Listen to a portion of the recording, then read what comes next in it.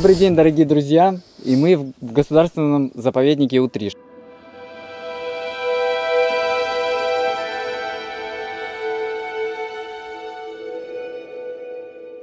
Сегодня уникальный день. Э, нам очень повезло нашей съемочной группе, потому что приехать сюда поснимать удается очень немногим. Сейчас весна, все расцветает, но немножко, конечно, не такая зелень, но тем не менее, так как вот оно есть, так оно есть.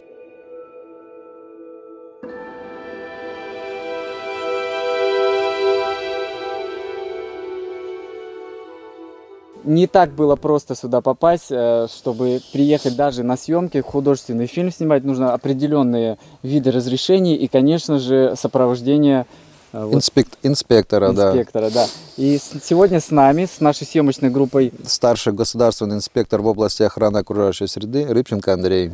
И специалист отдела экологического просвещения Елена. Андрей, вот да. такой вопрос. Почему, с каких пор э, очень сложно стало попасть в заповедник? И раньше здесь ходили туристы с палатками, сейчас вход э, запрещен без определенных разрешений. Вот с какого момента это и почему так произошло? Ну, все началось 2 сентября 2010 года, когда наш президент подписал указ о создании данного заповедника. И тогда вступило в силу это постановление. И с данного времени, в принципе, на эту территорию вход гражданам только по специальным пропускам.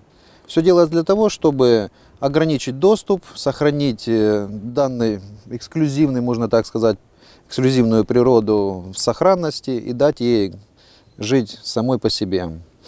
Елена, к вам вопрос. Как часто люди э, запрашивают возможность вот, пройти через заповедник или зайти в заповедник, и насколько э, простым вот, э, отдыхающим, которые приезжают, насколько у них есть возможность сюда попасть? Как это сделать? Запросы поступают часто, желающих много.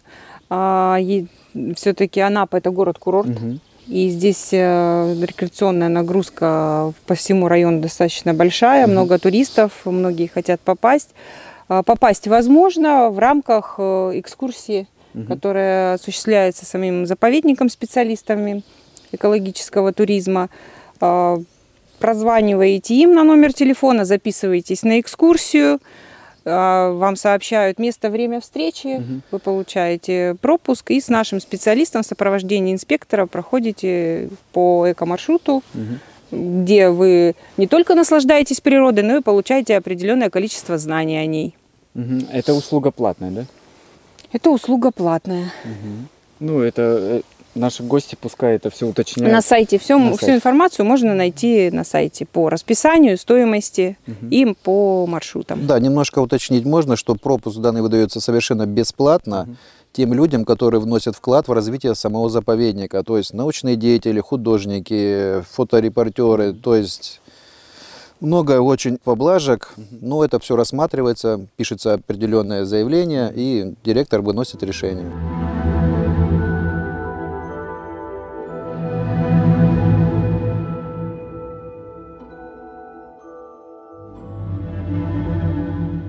Да, еще, Андрей, такой вопрос к вам. А вот вкратце, в чем уникальность этого природного заповедника? Ну, уникальность его месторасположения и плюс э, уникальность в том, что, допустим, сзади меня вот можжевельник высокий, он занесен в Международную Красную книгу. Еще таких три вида можжевельников, кто в Краснодарского края, ну, в Красную книгу. И плюс фисташка туполистная, тоже в Международной Красной книге. Это все произрастает только здесь. Угу. Плюс из земноводных черепаха Никольского тоже в Международной Красной книге. Ну и много всяких растений и присмыкающихся тоже в Красной книге.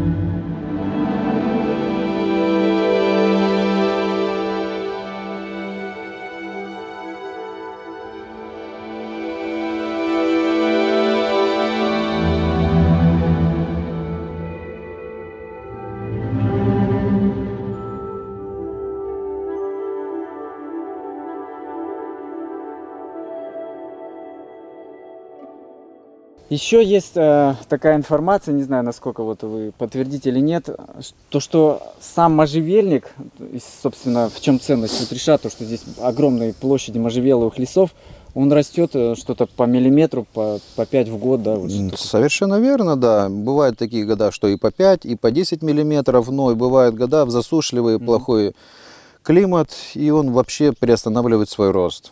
И плюс единственное, что э,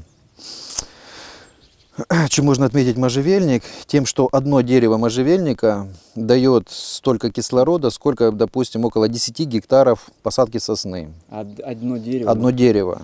Десятки Даже гектаров сосны.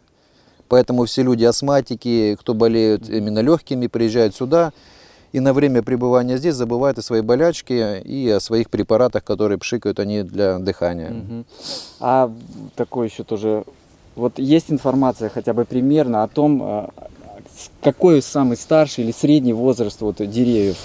Ну, в среднем около 500 лет, а так доходит и до практически тысячи. Мы лично делали пробы и насчитали 760 лет. То есть вы понимаете, друзья, 760 лет и насколько это ценно для нашей Земли вот с такой кислородоотдачей, скажем да, так. совершенно верно. А сейчас наш маршрут, э, что мы покажем нашим зрителям? Покажем, мы сейчас стоим на Кабаничьем бугру. В принципе, за нами поселок Большой Утриш, который образовался в ходе оползня.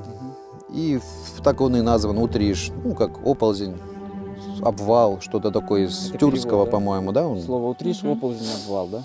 Да, и вот даже мы можем видеть вот такие как лапы, как с горы спускаются к морю. Угу. И это, в принципе, этим уникально, что здесь такая природа, такая вот особь. А дальше куда мы проедем? Дальше мы проедем немножко вглубь леса, где у нас будет два озера, которых лесных. Ну, а там дальше уже покажем, расскажем поближе. Все, оставайтесь с нами, все самое интересное впереди. Погнали!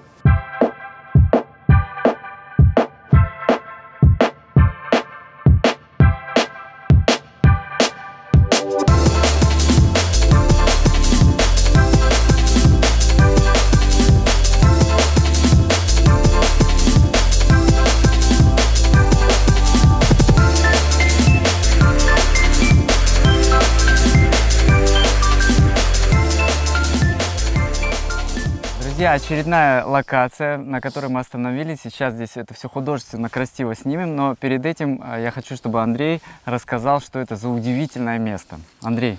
Да, это место называется Сухой Лиман. Угу. Как озеро образовано в стечение вокруг горы, угу. внизу озера, но это где-то примерно около 300 метров над уровнем моря находится. Как все. чаша получается, да? Чаша, да, где собирается талая вода, как бы таких источников нет у нее подпитывающих, только талая вода, снег. Mm-hmm. Ну, то, что с гор сбежит, то оно здесь и есть. Сейчас нас суховато, я смотрю, да? Ну, в последние уже 10 лет, можно сказать, он полностью пересыхает mm-hmm. летом. До этого он никогда не пересыхал, был всегда с водой. Ну, последние ну, года так получается, что он набир, набирает чуть-чуть и угу. тут же до лета или в конце лета уже сухой полностью.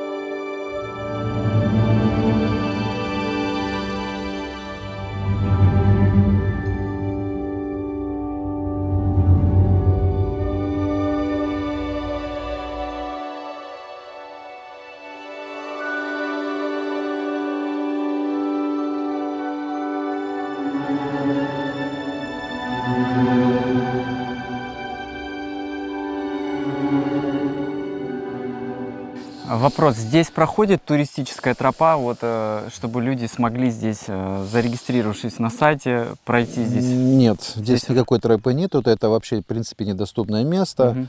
Плюс, в чем особенность этого лимана, здесь обитает тритон, угу. которого, в принципе, нигде больше нет. Он тоже занесен, по-моему, в Красную книгу. Но это надо еще уточнить у научного отдела. Но угу. точно знаю, что он здесь обитает. Это его место обитания. Больше такого нигде нету. Насчет тритона хвостик, если у него отпадает, у тритонов вырастает хвостик, потом, насколько я знаю. К теме не относится. Вспомнил вспышки с детства. Отлично, сейчас мы это все дело очень красиво, художественно заснимем и покажем. Thank you.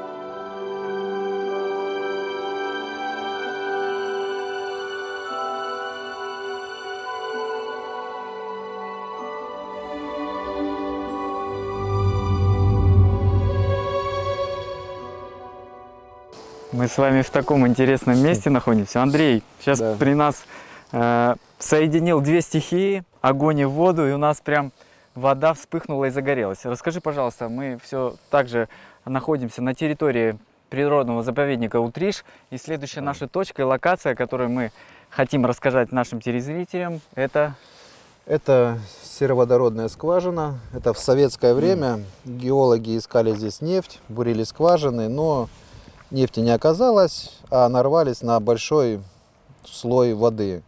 Мгм. И этой скважине около 800 метров глубиной. И поэтому там сероводородная во- такая вода. И вот Ну да, привкус такой соответствующий, но не, ну, не сказать. не специфическая, Не как бы да, ну, легкий привкус, да. Это территория уже близ поселка Малый Утриш. Мгм. Так и называется, скважина место. А, Тут у нас до морюшка остается буквально 50 метров. Сейчас мы э, к нему подойдем и посмотрим. То есть, если по берегу у нас э, суко, Двигаться в сторону Суко, Да, в это- сторону Анапы, это где-то будет около 10, ну 9-10 километров это пешее. мы так далеко уехали, да? Да. То есть мы через горы, а по побережью получается еще дальше. Через горы 18, а по берегу где-то 9, А, ближе, около да. 10. Э, Спустился туманный такой прям э, бриз, довольно-таки прохладненько становится. В горах было у нас теплее. Да, там ветра не было, солнышко. Да, и хочется опять вам э, показать, сейчас заснять это прекрасное время года и природы, когда у нас легкий туман и горизонт сливается с морем. И мы не видим, как э, линия горизонта, как море переходит вот э, в небо, потому что сплошная такая белая приятная полоса.